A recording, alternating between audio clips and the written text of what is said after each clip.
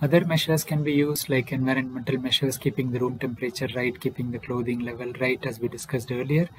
Uh, tepid sponging can be used. Remember that it is not cold sponging. Any cold touch when you have fever is perceived with shivering, so it's not comfortable.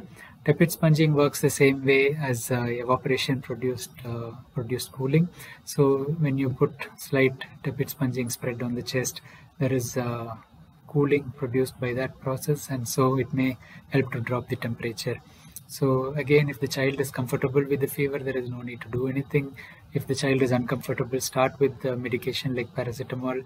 If it doesn't reduce after one to two hours, you can consider either tepid sponging or going for a second medicine like Brufen. If there is reduced appetite, uh, do not force feed the child. It's normal to have a reduced appetite with any infection. Viral infections cause reduced eating, but ensure adequate water intake. We should monitor the urine output and sweating after medication for fever is expected.